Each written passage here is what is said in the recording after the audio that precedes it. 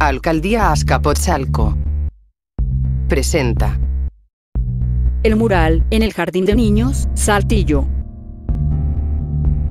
Con imágenes que representan las diversas actividades y conceptos que los niños aprenden en el plantel. Con formas como los globos, que agradan y atraen la atención de los infantes, se muestran los números, las letras y diversos animales.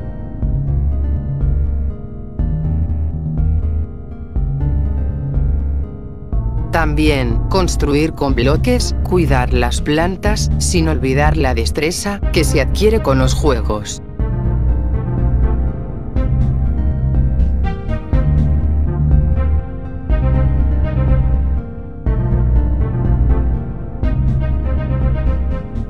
Todos ellos, acompañados de las profesoras, que invitan el acceso a la escuela.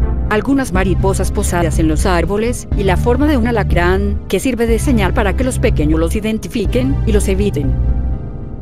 Además, una familia anima a uno de los hijos al ingreso del colegio, donde aprenderá muchas cosas más.